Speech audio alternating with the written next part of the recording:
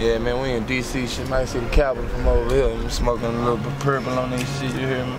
A little bit of this, a little bit of that. Man, out here with them snipers, man. We in here with them DC boys, man, you hear me? Shout out to Howard University, man. You know they going through a lot right now. Put them in y'all prayers, man. You know what I'm saying? Taco Talks, man. Y'all interview, man. Y'all, y'all interview my boy, man. Get him right, man. You hear me? He ain't not only covering rappers, he covering this real shit that's really going on around this bitch, you hear me? So if you stand for anything, tune in, you hear me? Taco Talks, man, the topic, man. Rock out. This nigga Taco Tuesday sneaking, yeah, man. sneaking the interview. It's Lil Lil.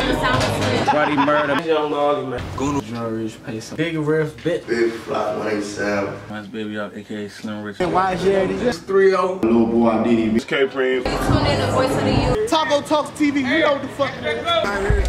Hey, yo, Mike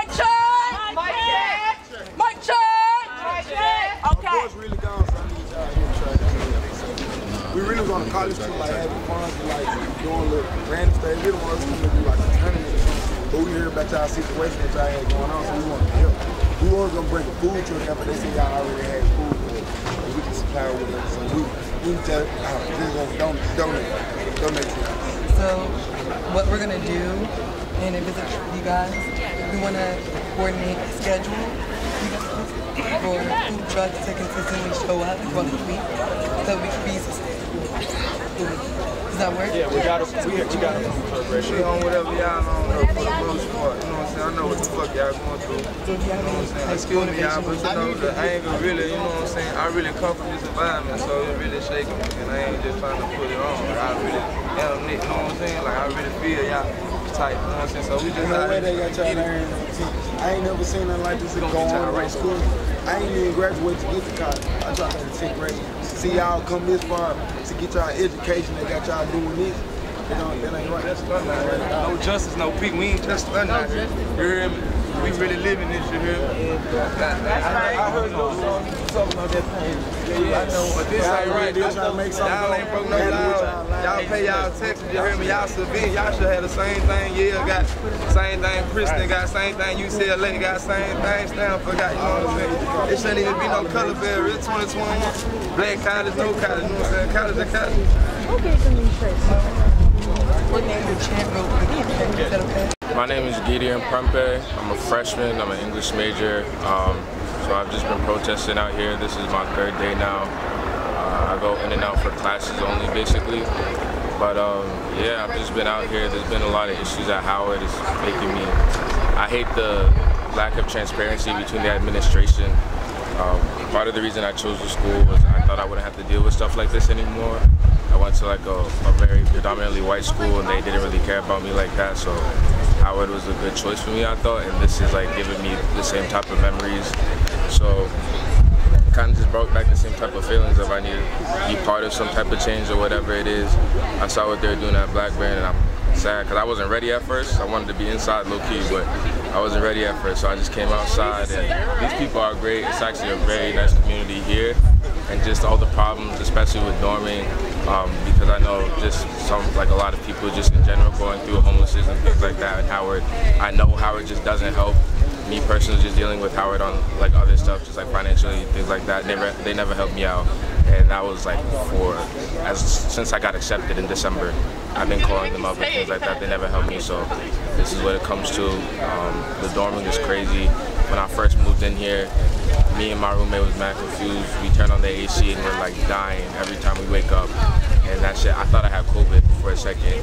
That's how bad it was, because every time you turn on the AC, it's blowing mold in the room and shit like that. Second you turn it off, you go to sleep, you'll be better. So we still don't even sleep with it on at night. Like, you just have to fix it like that, because sometimes I'll still wake up sick like that. Um, fleas in the bathrooms, like that. Like they don't, they make it look like they clean. They have the people stationed around, and honestly, that's their job. Like they're, they're doing what they do, but Howard doesn't care what they do or how they do it.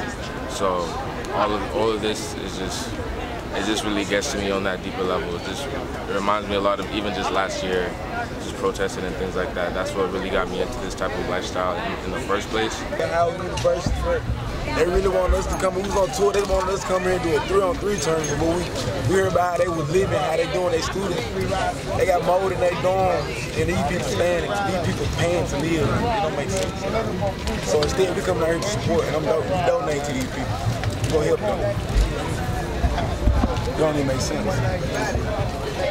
I went, I dropped that 10th grade. These people went on with their education, trying to be something really in life. And this, this one of the number one schools I always hear about when I was younger, Howard. Y'all, if I was gonna go to college, it was gonna be Howard. I ain't had no idea this was going on. It's crazy. It's weird. I thought it was gonna be a nice, like, I thought it was gonna be something. I didn't know this. Happens on a lot of This happens on a lot of campuses. Yeah. But you don't hear about it because they keep it on the hush. So that's why y'all platforms are so important. USA uh, administration was invited, but they declined. Town halls are the only way that students have the ability to get their grievances off their chest. That's the only line of communication that we have in which we are seeing administration face to face. And they continue to decline the invitation. So we decided then and there that we would refuse to leave the building until these grievances that we discussed were met. Woo! That's right. So that's how we got the demands that we have today. And we will not be leaving Blackburn until the demands are met. Okay? So, I want to make sure that this is known. If no demands are met, there will be no homecoming. Homecoming will be outside of Blackburn. We need that to go literally national. We need alumni. We need faculty. We need people who would usually go to um, Howard's homecoming. We're going to shut it down because I believe that the community is willing to sacrifice this virtual homecoming to make sure that the voices of the students are heard. So we are going to cultivate, and anybody who's watching this, please reach out to us so we can have our own Blackburn Takeover Homecoming. That's our part. That's the newscast, y'all. They've been coming and going and looking at us from aerial view. But we want to have a Blackburn Takeover Homecoming that's separate from Howard's because they do not have the luxury to be on doing something, cultivating something, and ignoring us, actively ignoring us. The first night, the first night we had 15 to 25 people. There was a fake fire alarm that was pulled that was trying to force people out. We have footage of people that were trying to be forcibly removed by University Police and Metro PD. They tried to threaten us with expulsion consistently. And as a group, we make decisions. It doesn't matter the sacrifice. We are willing to fight. We are willing to sacrifice until our demands are met. So those are the people that decided to stay within Blackburn. So please, please, please clap it up so they can hear you in there because they are continuously sacrificing.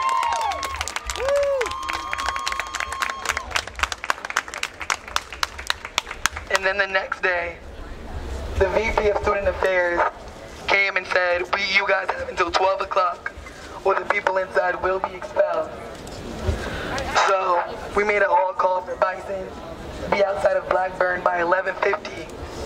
By 1150, over 100 Bison students linked their arms together and made a human shield outside of Blackburn and refused for administration to get in and serve them with expulsion.